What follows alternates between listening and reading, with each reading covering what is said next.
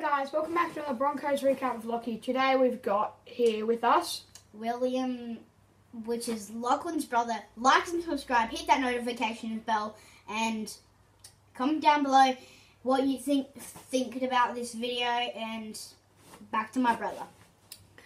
So let's get into it. Round 22, Broncos and Knights, Suncorp Stadium. Da, da, da.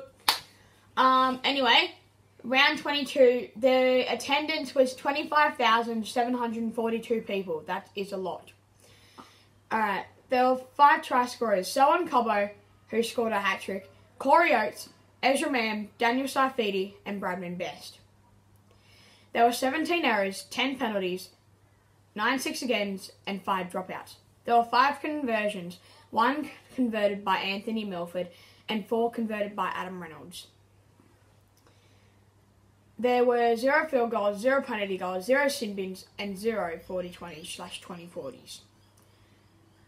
Um, the Selwyn Cobbo was the only player to do an interception, and Daniel Saifiti did a one-on-one strip on Kurt Capewell. I think it was. No, Jordan Riki. Um, there were two injuries. Anthony Milford, who had a HIA, who had to go off for a HIA head injury assessment, and Kobe Hetherington, who had a bleeding eye, so he also had to have go off for a HIA.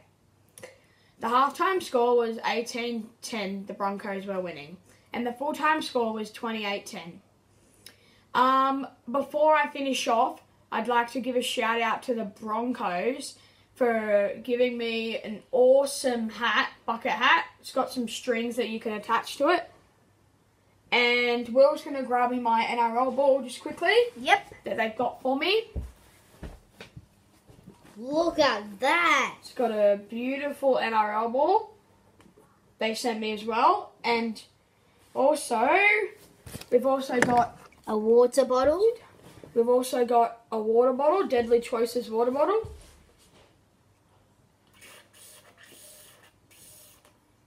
Very horsey. Um, and that, and I got a poster which is there, and Will's gonna grab that for me quickly. It's got the whole team, and on the back, it's got their team. We're the Broncos, the mighty Broncos. And then they also sent me a letter, and I think that was it. Yeah. Um, yeah, and this bucket hat is really, really cool. I've been wanting that for so long.